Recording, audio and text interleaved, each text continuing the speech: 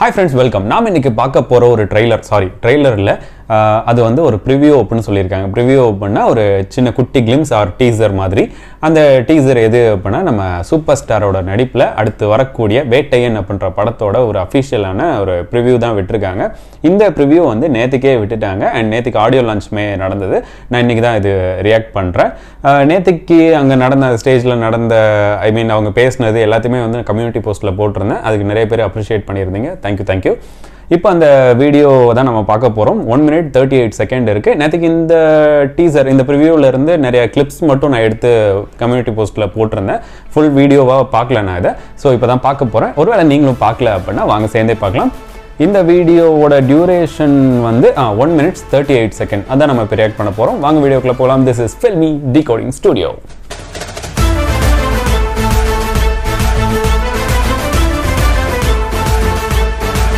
friends வீடியோக்குள்ள வந்தாச்சு. First எப்பவும் போல் சின்னதாக ஒரு மூவி கிரெடிட்ஸ் அதை மட்டும் பார்த்து முடிச்சுட்டு உடனே வீடியோக்குள்ளே போயிடலாம். இது வந்து ஜெய்பீம் டைரக்ட் பண்ண அந்த டேரக்டர் அவர் அவரை பற்றி ஒரு ஸ்பெஷாலிட்டி என்ன அப்படின்னா எந்த டேரக்டர்கிட்டையுமே அசிஸ்டன்ட் டேரக்டராக அவர் ஒர்க் பண்ணல. டேரெக்டாக வந்தார். அவர் வந்து ஒரு எழுத்தாளர் ஆக்சுவலாக அதுக்கப்புறம் பத்திரிகையிலையும் இருந்திருந்திருக்காரு. இப்போ வந்து அவர் அந்த படம் எடுத்ததுக்கப்புறம் சூர்யா சார் வச்சு படம் எடுத்ததுக்கப்புறம் இந்த படம் வந்து டேரெக்டாக நம்ம சூப்பர் ஸ்டார்கிட்ட இருந்து கிடைச்ச ஒரு ஃபிலிம் அண்ட் நேற்றுக்கு ஸ்டேஜ்லேயுமே வந்து சூர்யா சாருக்கு தேங்க் பண்ணியிருந்தது அது பார்க்குறதுக்கு ரொம்ப ஒரு ஒரு ஸ்வீட் கெஸ்டர் மாதிரி இருந்தது. அதுக்கப்புறம் இந்த படத்தோட காஸ்டிங் பற்றி என்னென்னா அமிதாப் பச்சன் சார். அதுக்கப்புறம் ரஜினிகாந்த் சார். ஆக்சுவலாக நம்மளுக்கு தெரியும். அதுக்கப்புறம் வந்து நம்ம ஃபகத் ஃபாசில் சார். இவங்க எல்லாமே வந்து ஒரு பெரிய கேங்காக இந்த படத்தில் வந்து நடிச்சிருக்காங்க. ஸோ இதுவே வந்து இந்த படத்துக்கு ஒரு பெரிய ப்ளஸ் பாயிண்ட்டாக இருக்கும். பிகாஸ் எல்லாருமே ஒரு சூப்பரான பர்ஃபார்மர்ஸ் அதுக்கப்புறம் மியூசிக் வந்து அனிருத் சார் அதுக்கப்புறம் director of photography S R Kathir director action director வந்து அன்பறிவு. அவ்வளோதான் வேறு எதுவும் பார்க்க வேண்டாம். டக்குன்னு போயிடலாம். Three two one go that's it Do you know who these officers are? Renowned encounter specialist, sir.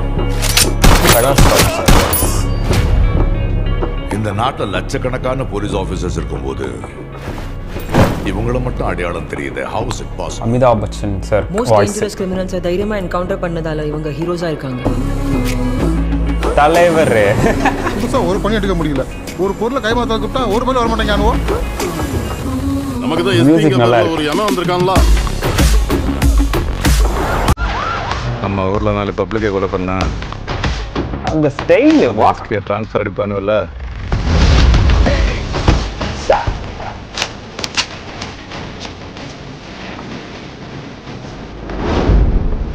செம்ம ஃப்ரேம் ஐயோ செம்ம frame Rana sir first sir so என்கவுண்டர்ங்கிற பேர்ல கொலை பண்றது தான் ஹீரோயிசம் இஸ் இட் செம்ம ஃப்ரேம் சார் இருக்கு எல்லாமே. என்கவுண்டருங்கிறது குற்றம் செஞ்சவங்களுக்கு கொடுத்த தண்டனை மட்டும் இல்லை.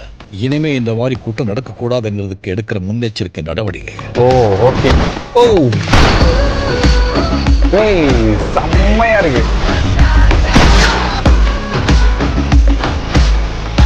ஓ ரெண்டு பேரும் ஆப்போசிட்ல இருக்காங்களா? October tenth release Kanguva release ஆக வேண்டிய டைம் ம் சரி ஓகே நம்ம அதை பற்றி பேச வேணாம். ஆல்ரெடி மன உளைச்சலில் இருக்காங்க எல்லாரும்.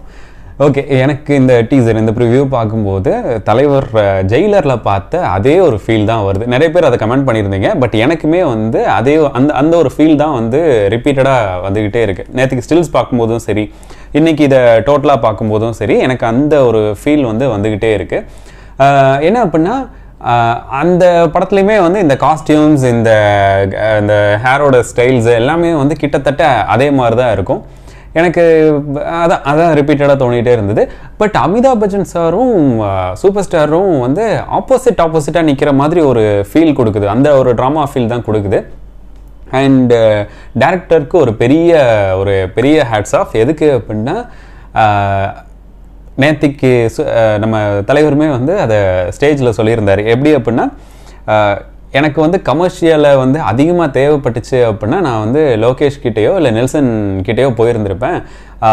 எனக்கு உங்ககிட்ட தேவை இந்த இந்த கதை எனக்கு தேவை பண்ணுறதுனால தான் உங்ககிட்ட வந்திருக்கேன். பட் இதையும் வந்து நீங்கள் மெசேஜாக சொல்கிற மாதிரி சொன்னால் நம்மளுக்கு செட் ஆகாது. இதையும் வந்து கமர்ஷியலாக கொண்டு வர ட்ரை பண்ணுங்க அப்படின்னு சொல்லி அதுக்கப்புறம் கொஞ்சம் டைம் எடுத்து தான் இந்த கமர்ஷியல் எலமெண்ட் எல்லாம் உள்ளே கொண்டு வந்து இந்த அளவுக்கு இப்போ இப்போ நீங்கள் பார்க்குற இந்த ஷோ கேஸை வந்து பில்ட் பண்ணியிருக்காங்க அப்படின்றது சொல்லியிருந்தாங்க. அண்ட் டேரக்டருமே அதை வந்து கன்ஃபார்ம் பண்ணியிருந்தாரு. ஆமாம் நான் வந்து இது ஃபஸ்ட்டு மெசேஜ் சொல்கிற மாதிரி தான் பண்ணியிருந்தேன். அதுக்கப்புறம் தான் வந்து சூப்பர் ஸ்டார் உள்ளே வந்து இப்படி சொன்னதுக்கு அப்புறமா நான் இதை வந்து கமர்ஷியலாக சேஞ்ச் பண்ணேன் அப்படின்னு சொல்லிட்டு அதை பார்க்குறதுக்கு உண்மையிலேயே நல்லா இருந்தது.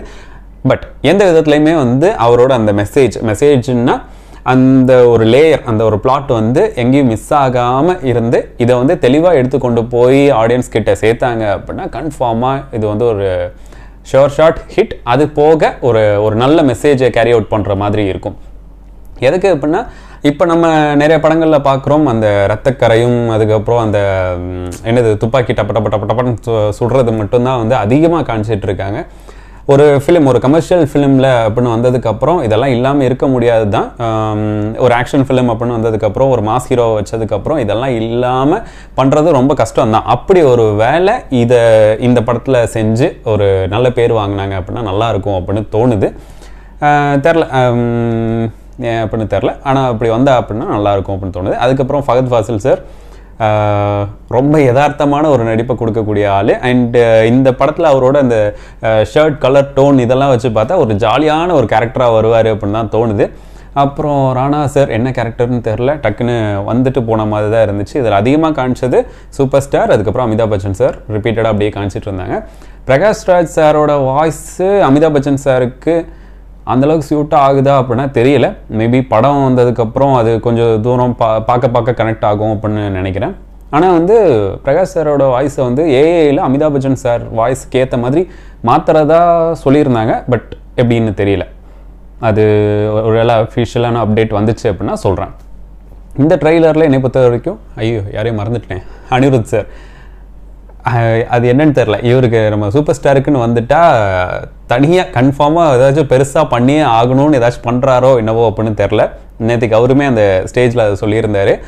எனக்கு சூப்பர் ஸ்டார் அப்படின்னு வந்துச்சுன்னா உயிரையும் கொடுக்குற அளவுக்கு நான் ஒரு ஃபேன் அப்படின்னு சொல்லிட்டு உண்மையிலேயே இந்த ஒரு ஒரு படத்துக்கும் அவரோட இந்த சூப்பர் ஸ்டாருக்கு கொடுக்குற ஒரு வேரியேஷன் ஒரு எலிவேஷன் இருக்கு இல்லையா? அது வந்து ரொம்பவே சூப்பராக இருக்குது எனக்கு பார்த்து பார்த்து அது ரொம்ப பிடிச்சி போச்சு. இப்போ இந்த மியூசிக் கூட நான் கேட்டுட்டு தான் இருந்தேன். இந்த ஸ்பாட்டிஃபை அந்த மாதிரி வந்திருக்கும் இல்லையா? ஸோ அதிலலாம் கேட்டுட்டு தான் இருந்தேன். ரொம்பவே சூப்பராக இருந்துச்சு.